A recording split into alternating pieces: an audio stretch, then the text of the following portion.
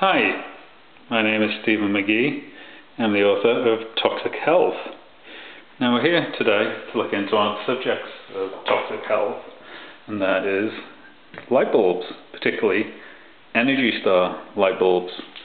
And this particular light bulb I purchased today in order to do this test, and we're going to look into what kind of electric fields get induced onto the human body by using the oscilloscope to see what's going on.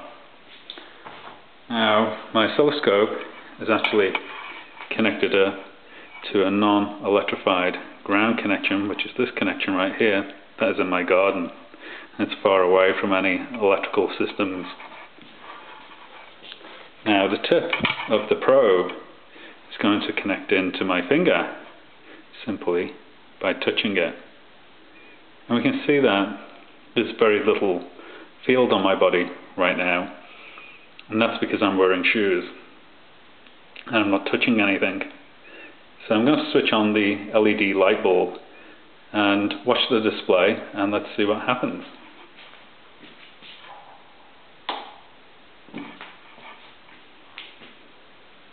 So as we can see we've got some ripple now on the display and you, you would have saw it spike as I reached and touched the cable.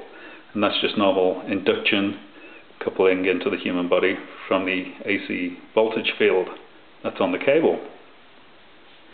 Now if I reach out and touch the light bulb, you should see the waveform increase. So as you can see, it's a very spiked waveform that's on this light bulb. It's not the conventional 60 Hz waveform, it's a very digital waveform. And there I am, taking my body out of the field. If I put it back in, we'll see it reappear.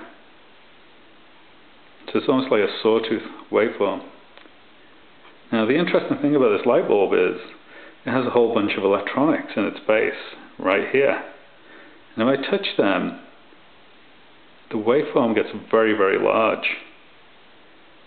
So there's something about touching this base part of the light, which appears to be made out of aluminum, that puts a very large field onto the human body.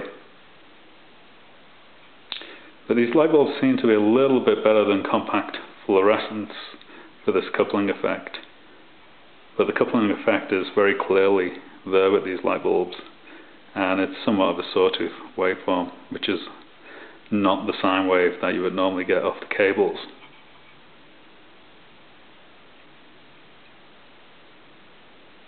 So this waveform on the human body, nobody really knows what it does to the human body with extended exposure. And I guess we're going to find out as people adopt these light bulbs and perhaps they may or may not start reporting health problems around them.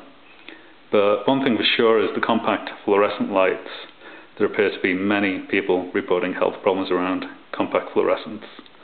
And I hope that we don't see that same problem occur with LED lights, but as you can see, there is a very unusual waveform that comes onto the human body whenever you get near to them.